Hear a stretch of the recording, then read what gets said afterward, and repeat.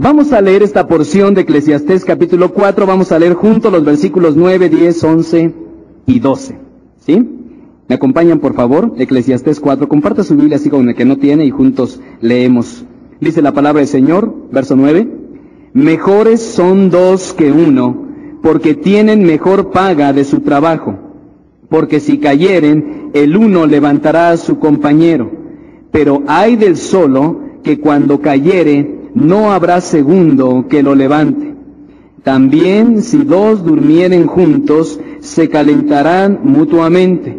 Mas ¿cómo se calentará uno solo? Y si alguno prevaleciere contra uno, dos le resistirán. Y cordón de tres dobleces no se rompe pronto. Amén. Dios bendiga su preciosa palabra. Les invito a orar, en su rostro y vamos a orar. Pidamos a Dios, Señor, háblame, yo quiero escuchar tu voz alguna nueva revelación a la luz de tu palabra, obviamente, que tengas para mi vida matrimonial, para mi, para mi familia, porque también vamos a hablar de los hijos un poquito, pues que el Señor nos los revele y nos los haga saber en su palabra. Oremos al Señor. Señor, gracias, porque ya el hecho de haber leído todo este capítulo 4 de Eclesiastés, hay mucho en lo cual meditar. Pero no venimos solo para meditar en tu palabra, venimos para ser obedientes a tu palabra. Y queremos en esta hora, Señor, que tu palabra se encarne en nuestro estilo de vida, de tal manera que haya valido la pena estar aquí. No nos dejes ser oidores, que tomando tu palabra volvamos sin hacer nada, sino déjanos ser hacedores y, ¿por qué no?, comunicadores de tu palabra. Bendice nuestras vidas y que tu Espíritu Santo haga una profunda obra en la vida de cada hogar, de cada padre, cada madre, esposos, hijos presentes en este lugar pues lo suplicamos en el nombre precioso de Jesús con acción de gracias. Amén. Estoy convencido de que de las mejores cosas que Dios ha hecho, las mejores que ha hecho, según su perspectiva, y yo me uno a la de él, el matrimonio es una de las mejores cosas. Y quizá hay algunos que están en desacuerdo conmigo dependiendo de su propia experiencia. Pero desde la perspectiva de Dios encuentro que hay mucho valor, hay mucha riqueza para aquel que se ha aventurado en la tarea de unirse en matrimonio. Es más, cuando ustedes van al capítulo 1 de la Biblia, Génesis capítulo 1, ustedes van a encontrar en los versículos 4, 10, 12, 18 y 25 una frase. Y vio Dios que era bueno. Y es más, van al capítulo 2 y leen al principio del capítulo que dice, y vio Dios que era bueno en gran manera. Sin embargo, al llegar al capítulo 2, versículo 18, aparece una nota negativa de Dios cuando él mismo dice, no es bueno que el hombre esté solo. Y no solamente lo dice aquí, no es la perspectiva de Moisés que escribió el Génesis, sino en la perspectiva misma de Dios. Él dijo, no es bueno que el hombre esté solo. Y luego aquí en el versículo 9 del capítulo 4 del libro que estamos leyendo, Eclesiastés, él dice, mejores, mejores son dos que uno.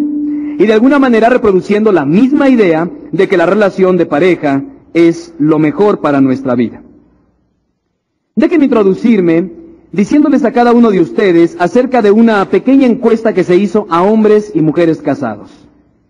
A estos dos grupos se les preguntó cuáles serían las formas, escuchen esto, las formas en que ellos pudieran percibir que su esposo les ama, en este caso las esposas.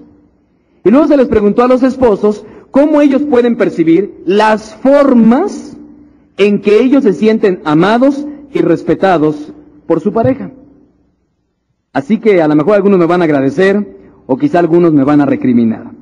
Pero voy a ver algunas de las cosas que según muchas mujeres, y yo creo que ustedes van a estar de acuerdo conmigo, hermanas, perciben que el amor del esposo se siente a través de las siguientes expresiones concretas de amor.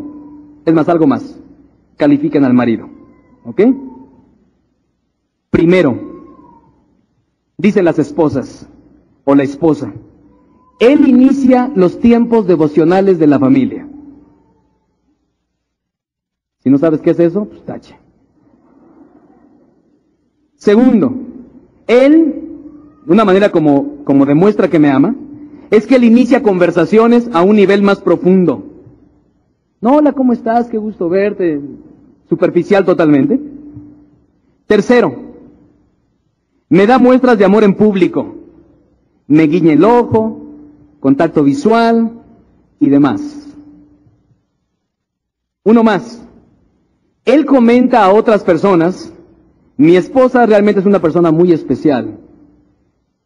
En el buen sentido, porque hay unos que dicen, especial de veras. Uno más dice, hace cosas conmigo que me gustan, aunque no le gusten a él. Y a la casa de la suegra, cosas de este tipo, ¿ok?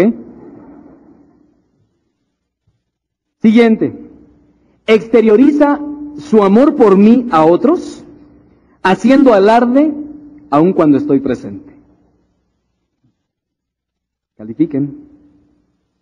Siguiente, perdona rápidamente y muestra una aceptación y amor incondicional. Una más, se asegura de que yo tenga tiempo para mí y tiempo para estar con Dios.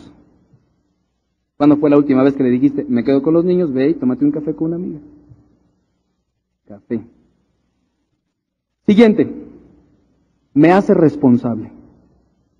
Una manera en que demuestra el varón su amor por su mujer es cuando la hace responsable. Siguiente, me da, me da regalos especiales y sorpresas.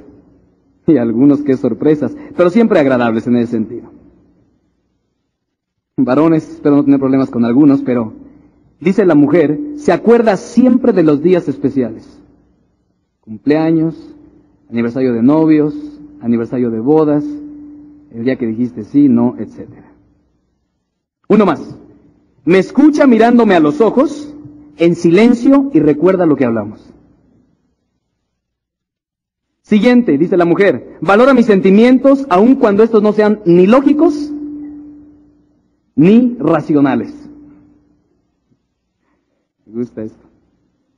Comparte sus sentimientos conmigo y me demuestra su confianza. Siguiente, ama a nuestros hijos y nota todas las pequeñas cosas que ellos hacen. Siguiente, se da cuenta de cómo me visto y cómo me veo. ¿Y ese vestido? ¿Hace cuánto no lo veía?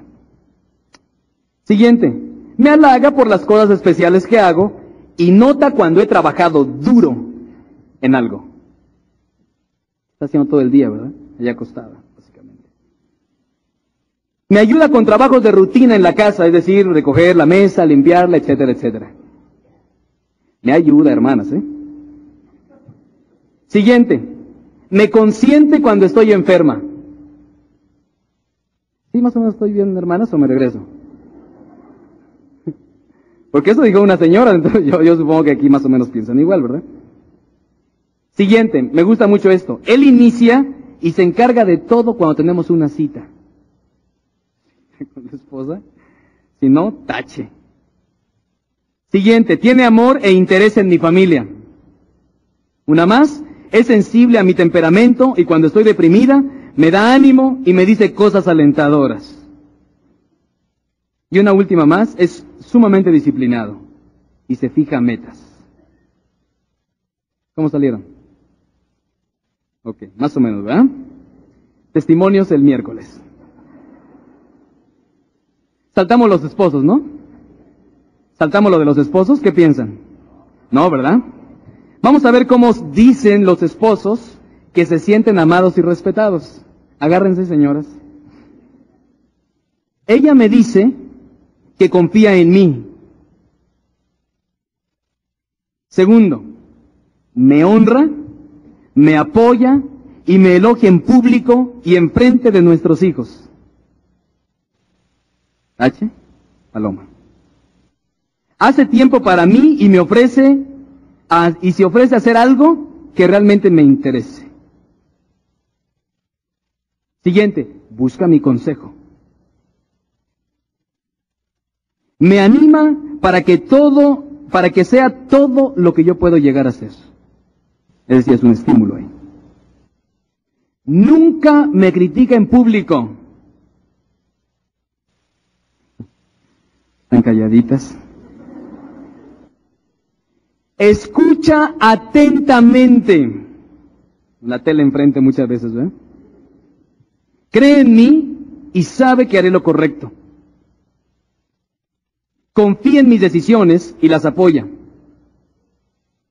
Ella habla de cuánto me ama y me respeta.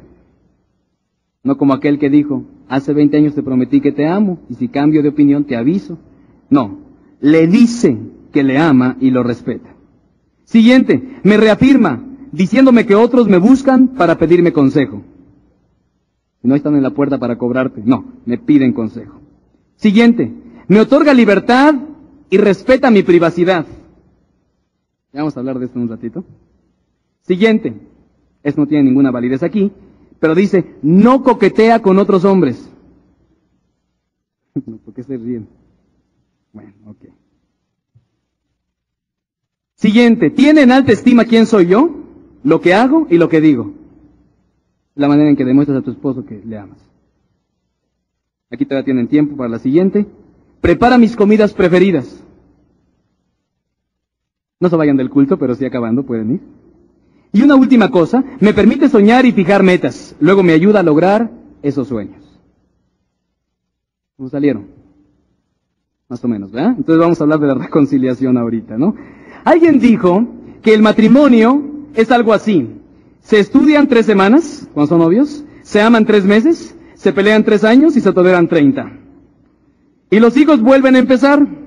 Se estudian tres semanas, se aman tres meses, se pelean tres años y se toleran treinta. Y así hasta que nunca acabe.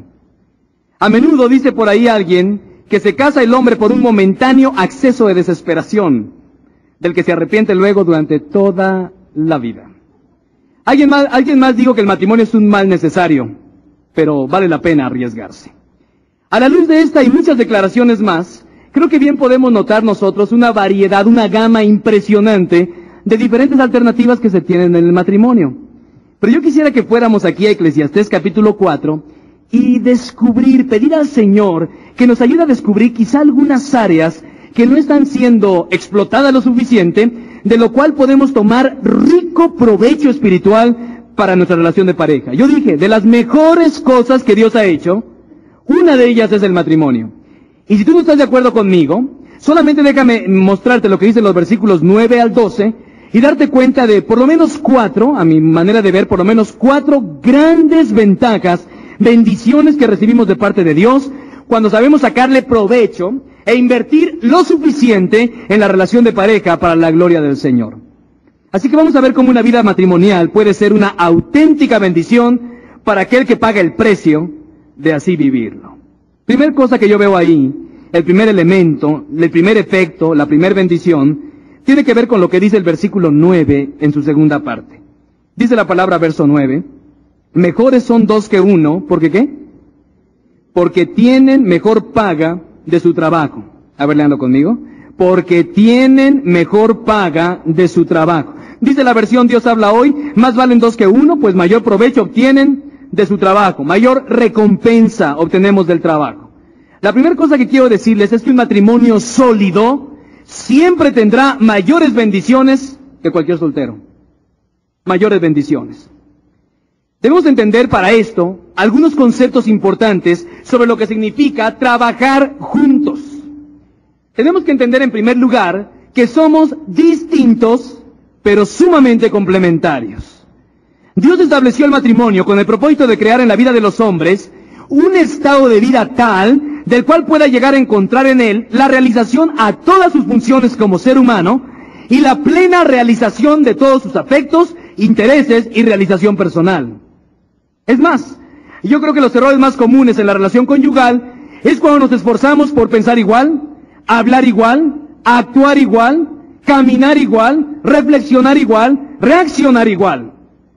Y muchos matrimonios tienen problemas cuando se enteran de que su cónyuge es diametralmente diferente a él. Si tú eres inteligente, deberías de sacar provecho de esta bendición.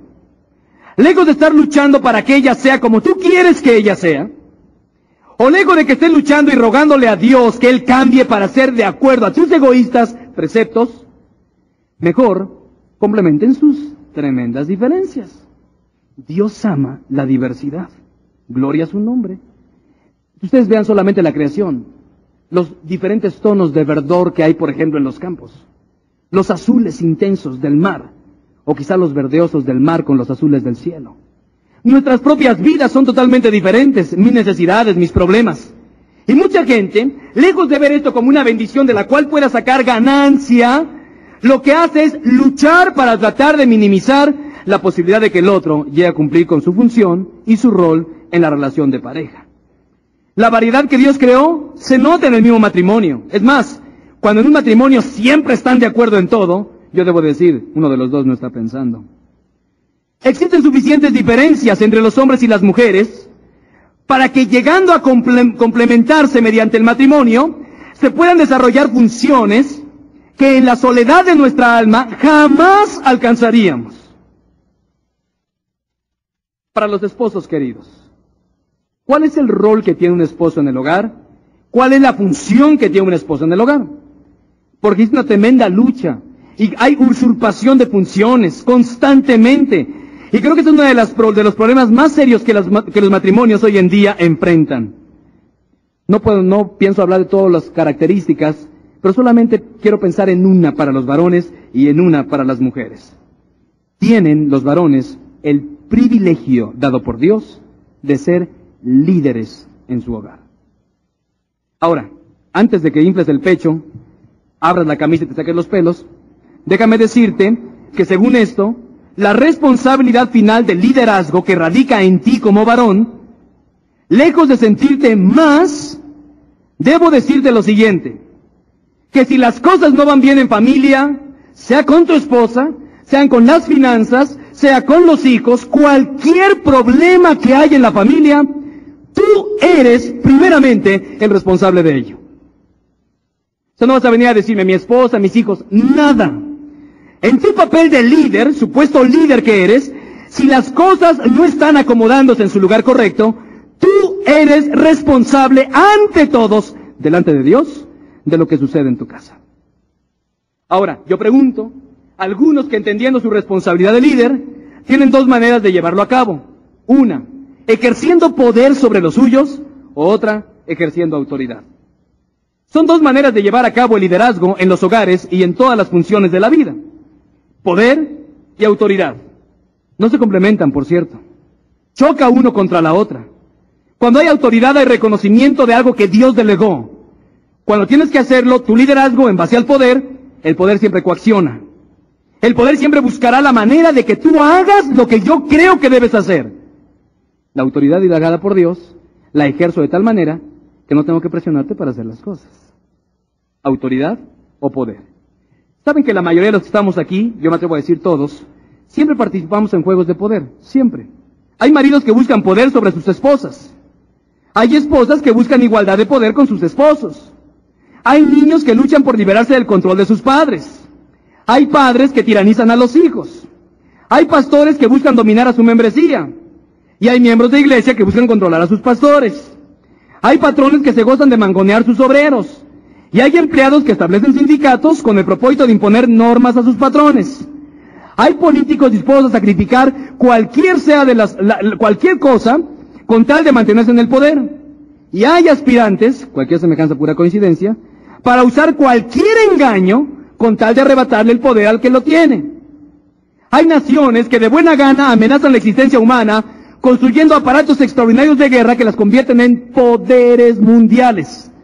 Los humanos tenemos ansias de poder. Es más, dicen que algunos conocedores de la conducta humana dicen que el más básico elemento de cualquier necesidad humana es el destino de controlar, es el deseo de controlar el destino de uno, de ser libre para realizar tu potencial sin restricción alguna, ser libre de toda limitación, trascender de lo que transcribe Dios tanto como la sociedad. Y mucha gente rechaza la idea de Dios como concepto solamente por su ansia de poder. Ahora déjenme decirles algo, amados hermanos. La ansia de poder es anticristiano. Anticristiano. Por eso yo pregunto a los varones. Tú tienes dos opciones al haber recibido de Dios el liderazgo de tu hogar. Ejercerlo con poder, coaccionando a tu esposa, coaccionando a tus hijos, para que en tus recursos, muchos de ellos miserables, hagan lo que tú creas que es justo. Otro, cuando tú tienes la autoridad delegada de Dios. Y cuando la esposa, sin que tú coacciones, y los hijos reconocen que detrás de ti está el Señor.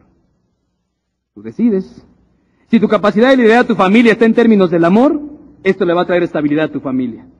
Si está en términos del poder, vas a desbalagar tu relación de pareja. Es más, además de que debe ser ejemplo de firmeza, a pesar de las circunstancias. ¿Saben que es mucho más sabio resistir al enemigo que resistir a la familia? Debemos reconocer como esposos y estar abiertos a los consejos santos de nuestras esposas. Pero ustedes esposas, ¿a qué las llamó Dios? Ustedes tienen el privilegio de ser ayuda idónea. En el plan eterno de Dios, el ser ayuda idónea para el hombre, por parte de la mujer, es una de las claves para que la relación funcione. Déjeme decirle qué significa la palabra ayuda idónea, porque ha habido siempre una, una situación muy compleja, ¿verdad? Algunos la llaman estorbo idóneo, ¿no? Pero en realidad la palabra ayuda idónea viene de un vocablo hebreo que significa rodear. Rodear. La función de la esposa, la bendición de participar, no es un papel secundario el que tienen, es un papel vital. No es quien más es más importante delante de Dios. No es la lucha para saber quién tiene la última palabra. Es la lucha para cumplir con mi 100% de responsabilidad sobre mi papel en la vida matrimonial. Es más, voy a decir esto, amadas hermanas. Una esposa que se ajusta al plan de Dios en cuanto a la trascendencia de su papel, significa que rodea a su esposo de apoyo, exhortación y consuelo. Quiere decir, amada hermana, que tienes que poner a la disposición de tu marido todas las cualidades santas que hay en ti a fin de ayudarlo a convertirse en el hombre que Dios lo ha llamado a ser. Ahora, muchos matrimonios dicen que el éxito de una pareja o el éxito de un matrimonio es cuando cada uno cumple su porcentaje de responsabilidad. Y algunos dicen, bueno, el varón tiene un 50% de responsabilidad, la esposa quizá tenga un 30% mm, de responsabilidad, los hijos, dependiendo de su número, pues tendrán un 20% de responsabilidad. Y entonces si las cosas funcionan bien o funcionan mal, es porque no están cumpliendo con sus niveles y porcentajes de responsabilidad. Esto es pura tontería. Yo fui llamado como varón no a dar el 50%, sino a dar el 100%. Dios me va a pedir de mi responsabilidad como varón al 100% de cómo ejercí mi liderazgo, mi responsabilidad, toma de decisiones, oración, todo lo que tiene que ver que ya veremos en la relación de pareja. A la esposa Dios le va a preguntar no sobre su 30 ni sobre su 50, sobre su 100% en ser la clase de ayuda idónea que Dios proporcionó al marido. Y los hijos ni se diga, ¿eh? Ocupan un papel trascendente. Tienen 100% de responsabilidad de responder como hijos. Independientemente de que si mi esposa no responde es problema de mi esposa. Que el esposo no responde es problema del esposo. Que los hijos no se ajustan es su problema. Yo cumplo 100% mi responsabilidad. Porque Dios no va a preguntar por lo que ellos son responsables, sino en la medida en que yo fui responsable de ellos. Y viceversa, hijito, que me escuchas. Es que mis papás no dan el ancho y no se ajustan al, al cuadro de Dios. Ese es su problema. Pero eso no te exime de la responsabilidad de ser hijo con temor a Dios al 100%. Y los hijos, el esposo y la esposa, trabajan juntos, usando sus diferencias, cumpliendo sus papeles, dice el versículo 9, mejor paga habrá de su trabajo. Pero ¿cómo quieres cuando quieres a todos poner a hacer tornillos cuando están tornillos de otros tuercas? O la decisión que así sea. La segunda cosa que yo veo, no solamente hay ese sentido de recompensa o de bendición, según el versículo 10, otra de las cosas que proporciona una relación matrimonial saludable es apoyo y seguridad. ¿Quieren leerlo las hermanas conmigo? Todas las hermanas presentes, léanlo por favor. Verso 10. Porque si cayeren, el uno levantará a su compañero, pero hay del solo que cuando cayere no habrá segundo que lo levante. Yo voy a decir aquí que este elemento yo le llamo el elemento de la restauración. Es más, es uno de los elementos más extraordinariamente bellos de una relación de pareja. La manera en cómo yo puedo ser restaurado en todas las áreas de mi vida por mi esposa. Y la manera como mi esposa puede ser restaurada en todas las áreas de mi vida con mi ayuda. Yo digo que una parte del amor incondicional en la pareja es el proceso del perdón. Y hablo del proceso del perdón. El perdón se da, y el versículo 10 se da, por un factor de conducta que todos tenemos, por cuanto todos pecaron. O sea, yo quisiera agarrar y sacar el 10 de ahí y decir, yo creo que en un matrimonio perfectamente estable, perfectamente estable, el 10 no debería de haber, porque si cayeren, el verdaderamente estable no cae, no cae. ¿Saben que muchos de nosotros lo que hacemos es usar poderosas caretas de lo que significa en realidad nuestra relación matrimonial? ¿Sabes que muchos quizá por estar en puestos de liderazgo o estar siendo observados por los demás, sabemos que nos ardería la cara de vergüenza de ver nuestra verdadera situación? Yo creo que todos los matrimonios en este mundo son perfectibles. Todos.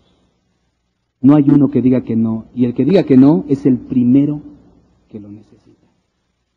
Si cayeren, si cayeren. El perdón es parte de la restauración que viene de Dios. Y viene cuando la pareja ya sea uno o el otro, ha caído. Ahora, ¿aquí hemos caído alguna vez? ¿Algún tropiezo? ¿Algún enojo? ¿Alguna situación en que dañamos la vida de nuestro cónyuge? Es más, voy a decir esto. ¿Cuántas cosas que debiendo hacer no haces? Eso daña al, cónyuge. No, yo nunca hago nada bueno, no, nada, nada malo. Y yo digo, ni bueno. Aquí estamos hablando de la restauración. ¿Saben que el perdón nos ofrece, ver la, nos ofrece ver la posibilidad de dejar atrás heridas y fracasos y fortalecer nuestra relación? Es más, es una de las formas en que hacemos evidente el amor de Dios. Venimos aquí y le decimos, Señor, que tu amor sea la prueba de nuestra relación. Una manera palpable, práctica, en que demostramos el amor de Dios a nuestro cónyuge es cuando estamos listos para perdonarle. Yo no puedo soportar cuántos cónyuges hoy en día pasan meses, meses y meses y no se pueden perdonar de sus heridas. Yo no sé quién es más tonto de los dos. El perdón se ofrece libremente en busca de la restauración. La relación no debe desquitarse. Cuando nuestro cónyuge nos hiere, saben que nuestra primera reacción es herirle también. Y dice el versículo 10, porque si cayeren, el uno levantará al otro. Pero si encima de que caigo, llega entonces mi cónyuge y me patea por haber caído, ¿quién va a levantarlo? Debes de entender que en un contexto muy especial de la vida matrimonial, la persona más adecuada para levantarte de tus caídas es tu propia pareja. Al ignorarla, al rechazarla, al no comunicarte, rechazas la única posibilidad de sobrevivencia utilizada por Dios para tu bien espiritual. El impulso por defendernos es algo natural, pero no debemos herir a nuestro cónyuge porque es parte de nosotros. Serías tonto herirte a ti mismo. El perdón se ofrece libremente, no como si fuera un contrato. Hay algunos matrimonios que dicen, bueno, yo te voy a perdonar siempre y cuando hagas tal y cual cosa y empezamos a decir. He escuchado frases como estas. Te perdono y olvidaré todo lo sucedido si de hoy en adelante me prometes bla, bla, bla, bla. Eso es basura. Eso no es perdón. Para empezar está condicionado y el perdón de Dios no está condicionado. El perdón de Dios se da. Y cuando tú estás perdonando a tu cónyuge y estás diciendo, bueno, siempre y cuando hagas ciertas cosas te voy a perdonar, eso estás más bien cambiando el perdón, haciendo trueque con el perdón. Y el perdón es regalo. Si cambias o no, eso es problema tuyo. Ahora, cuidado. Algunos varones o algunas mujeres aprovecharán esto para decir, pues que me perdone todas las veces, yo no voy a cambiar. No, porque también la Biblia dice el que encubre sus pecados no prosperará, mas el que los confiesa y se aparta alcanzará misericordia. Y también Jesús dijo que debe haber fruto genuino de arrepentimiento. Así que si tú eres lo bastante insensible para jugar con el perdón de quien más te ama, de alguna manera reincidiendo sobre lo mismo, es una falta que no tiene nombre. Así que se complementan las dos cosas. Un perdón que se da sin esperar nada a cambio pero un perdón que se pide demostrando con nuestra propia actitud que en realidad estamos arrepentidos de haberlo hecho. El perdón debe ser acompañado de la confesión. Fallé, y quiero que me perdones. Yo digo que existe un proceso, un factor de conducta rector del hombre, que es por cuanto todos pecaron. Así que gracias a nuestra naturaleza pecaminosa, somos altamente vulnerables, insensibles, como muchos de los hermanos hoy en día. No les importa si destruyen, si la gente se va de la iglesia, si no se va, si hace. Aquí se guarda la doctrina, mi hermano. Aquí se trabaja con ahí, si no quieres trabajar, lárgate. Espérame, espérame. No es por ahí. ¿Quién te dijo? ¿Quién te dio permiso? Pásame la charola. Vamos a quemarlas. Dios nos hizo hijos, no custodios de su santidad. Él se basta a sí mismo. Perdemos de vista al Dios que estamos sirviendo en nuestro afán por defender los derechos de Dios sobre la iglesia. Y cuando se enfría nuestro amor por Dios, por consecuencia se enfría nuestro amor por los demás. Un tipo de amor es consecuencia del otro. Si amas a Dios genuinamente, dice Juan, amarás a tu hermano. Analiza tus relaciones personales. Soluciones prácticas. Primera, son vulnerables. Ahora, el matrimonio nos ofrece oportunidades extraordinarias de amor y restauración. Debemos aprender a caminar en el perdón de Dios que hemos recibido de Él. Si uno tropieza, lejos de dañarlo, tú, amado hermano, tú, amada hermana, eres responsable de levantarlo. O quizá venga alguien más, ¿eh? Quizá venga alguien más. Una pareja que es pronta en perdonar, yo digo, puede soportar casi cualquier situación en su vida. Pero una que trae rencor en su corazón, matrimonios que vienen con problemas de años y años y años. Yo pregunto, ¿qué esperanza habrá para él? Cuando mantienes tus ojos en Cristo, amado hermano, todas las ofensas que te hagan se han de diluir en comparación con lo que Él te perdonó a ti. Así que varón, cuando te sientas que eres muy machito y que tu esposa te ofendió, ve a Cristo y ve la manera como tú le has fallado a Él. Y si Él te perdonó, lo mismo espera de ti. Y esposa, no esperas un esposo perfecto, no los hay. Pero cuando él falla, piensa, ¿cómo serías tratado? Una pregunta que quiero dejar en sus corazones en este segundo punto es, cada vez que tu cónyuge cae, cualquiera sea su circunstancia, pregúntate, ¿estoy tratando a mi cónyuge como quisiera que Jesús me tratara a mí cuando peco? Tú tienes la respuesta. Tercero, amor e intimidad. Otra de las ventajas que tiene la relación de pareja. Vean lo que dice el versículo 11. A ver, los varones lean conmigo esto de amor e intimidad. Verso 11 dice, también si dos durmieren juntos, se calentarán mutuamente, mas ¿cómo se calentará uno solo? Muy bien. Aquí hablamos algo de intimidad. Yo voy a decir que la intimidad es algo que quizá muchas parejas desconozcan hoy en día y que solo lo apliquen en su relación de pareja, en su relación conyugal, en su relación física o sexual. Por eso están los hijos. Pero hay muchos que esa es la única área, y ni siquiera plenamente, en que han disfrutado intimidad con su pareja. Recuerdo la impresionante declaración de Moisés cuando dijo en el libro de Génesis, y estaban ambos desnudos, Adán y su mujer, y no se avergonzaban. Y siempre que he pensado en eso, pienso en la posibilidad de que pues estaban desnudos y no tenían pena. Y hasta ahí siempre había pensado. Pero la verdad es que había mucho más que una desnudez física. Yo creo que estaban desnudos espiritualmente, desnudos moralmente, anímicamente. Es decir, eran totalmente vulnerables. Adán podía pararse enfrente de Eva sin ninguna agenda oculta, sin ningún sentimiento oculto, sin ninguna cita oculta, sin ningún trauma oculto, sin ningún resentimiento oculto, sin ningún rencor, sin ningún temor, nada absolutamente. Tal y como soy, con todas mis virtudes y todos mis defectos. Pero ¿saben qué sabía Adán? Que se había aceptado por su esposa. Y quizá eso, eso sea lo que muchos de nosotros podemos trabajar como agendas ocultas. Cosas que preferimos no decir por miedo al rechazo. Yo voy a decir que este tipo de intimidad hay parejas que a lo largo de sus años, y pueden ser muchos, nunca experimentan. Déjenme tratar de explicarles qué es intimidad. Imaginemos por un momento mi mano derecha es mi vida y, por, mi mano izquierda es la vida de mi esposa. Cuando nos casamos, la idea es que tengamos intimidad. Pero he visto un problema muy serio en la vida de muchas parejas hoy en día. Hay veces que la intimidad llega a ser tan fuerte que se diluye uno detrás del otro. La esposa se pone sobre el esposo. Y el esposo ya no es igual que cuando era soltero. Sencillamente anuló su personalidad.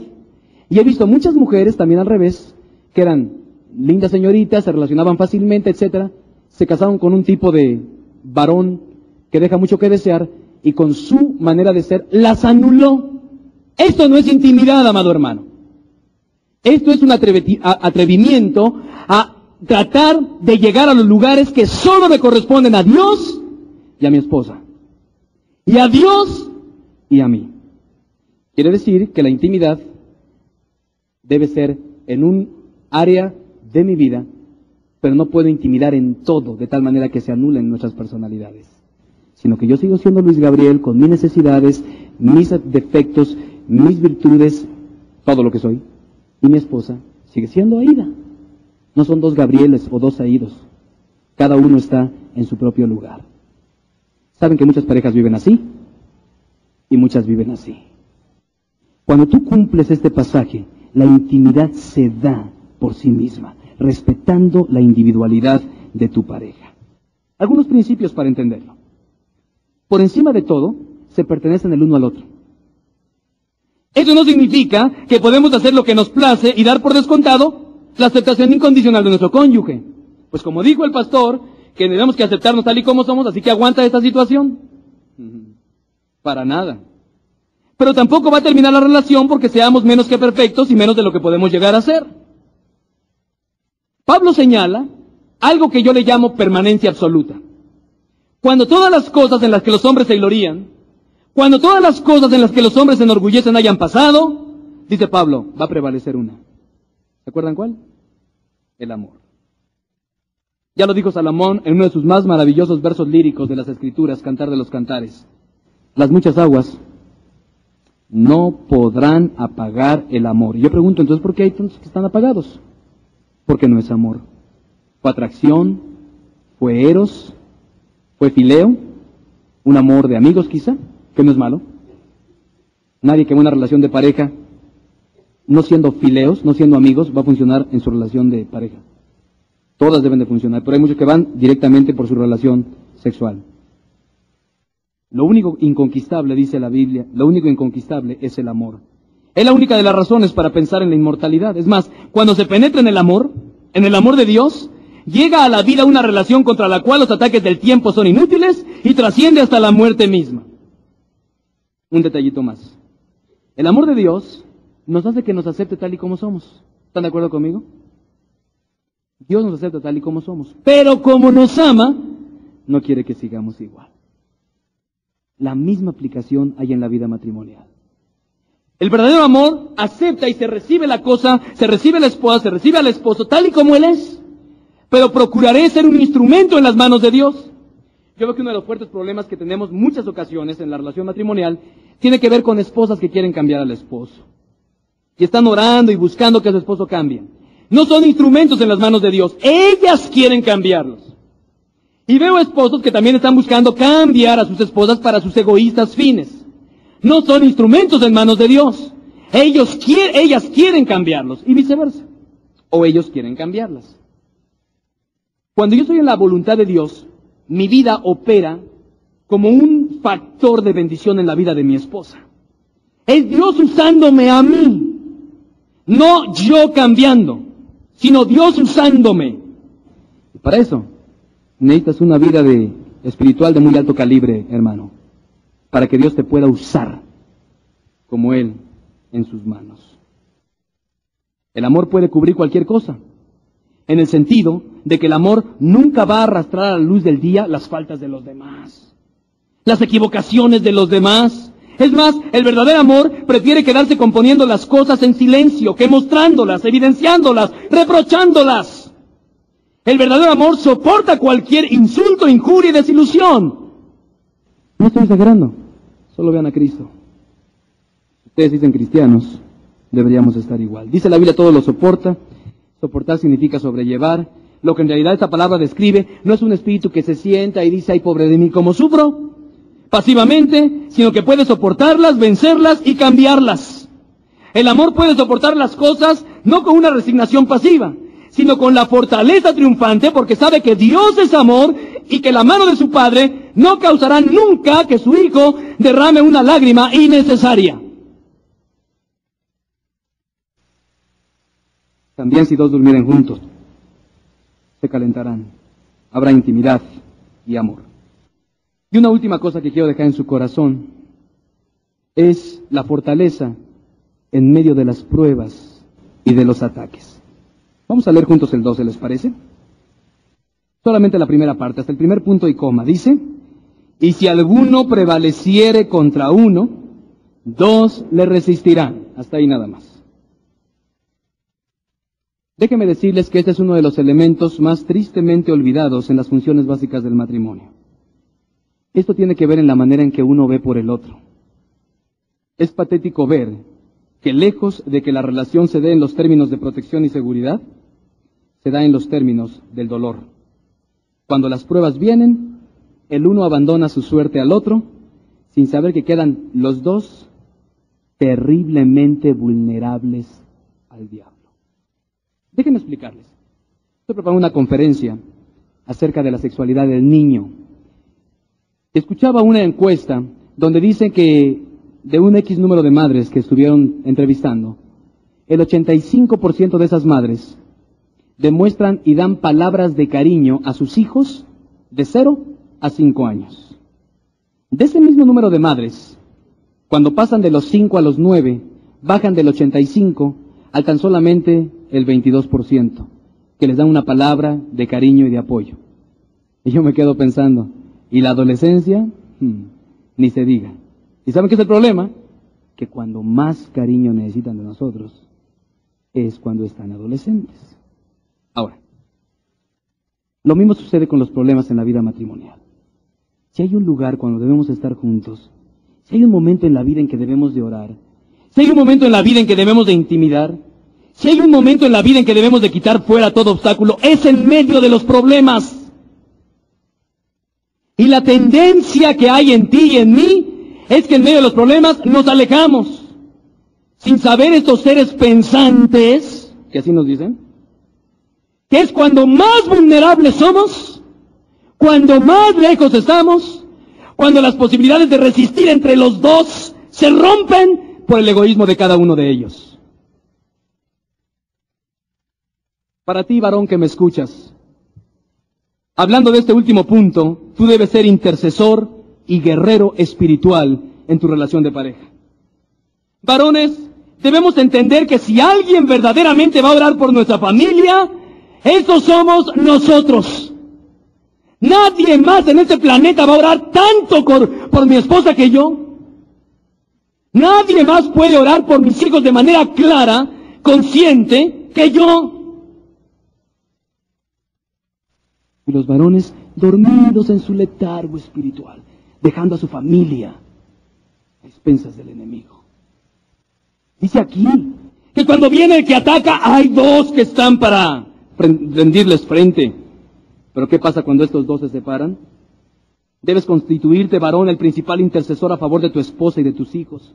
Es más, te voy a decir que eres el principal responsable de hacer la guerra con el enemigo en tu hogar. No solo en el sentido físico, sino en el sentido de que el enemigo está interesado en destruir todo lo que tú hayas o estés haciendo a lo largo de toda tu vida. Es más, el diablo se goza en el fracaso de los hijos de Dios en asuntos familiares. Y quizá haya aquí quienes ya han sentido el ataque infernal de quien desea a toda costa destruirnos. Despierta, varón. Tienes que tomar tu responsabilidad tu esposa y tus hijos están a merced del enemigo si no oras por ellos. Tú debes ser el guerrero de oración en tu familia. Debes contar con la capacidad de discernir la actividad del enemigo en tu esposa, la actividad del enemigo en cada uno de tus hijos. ¿Sabes sus áreas vulnerables? ¿Sabes dónde pueden ser atacados? ¿Sabes sus áreas de carnalidad? ¿Conoces dónde pueden ser dañados? Yo no. Pastor, yo le pido que ore. Yo no conozco, no vivo con ellos. Y por supuesto que voy a orar.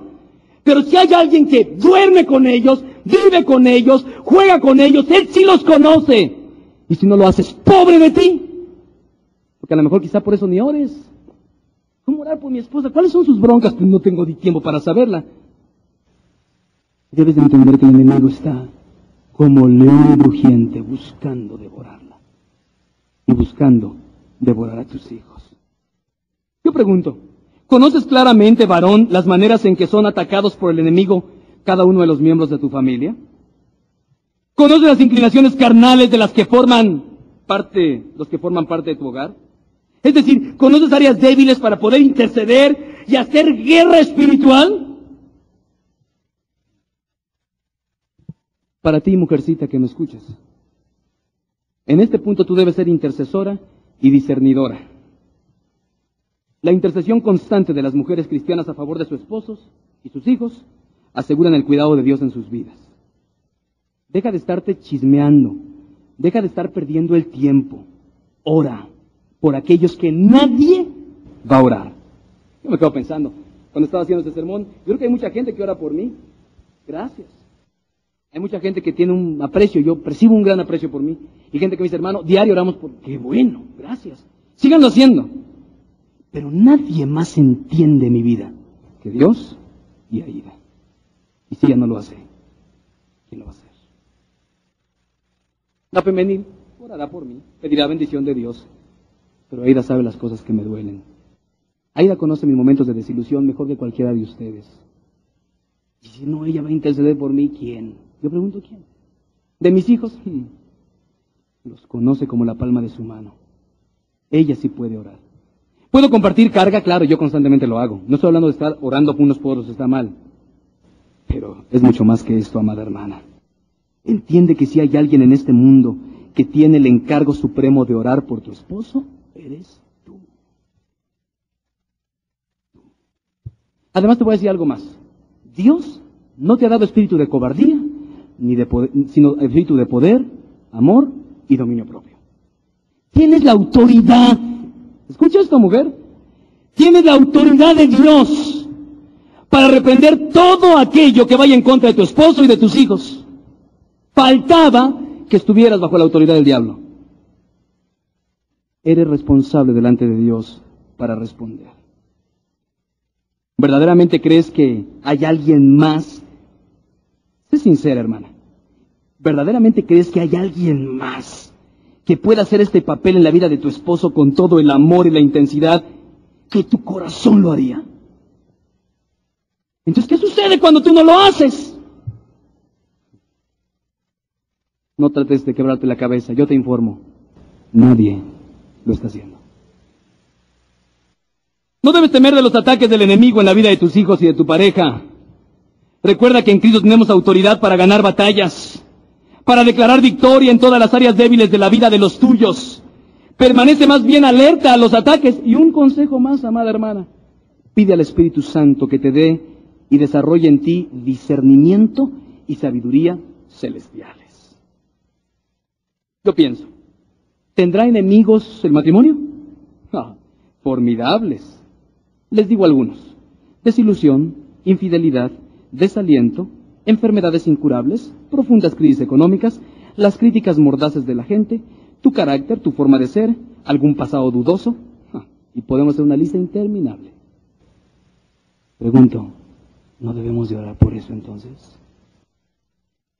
Termino diciendo, cordón de tres dobleces no se rompe pronto. Haz a Dios el vínculo que selle tu relación de pareja y prepárate para disfrutar lo mejor que Dios ha hecho, la vida.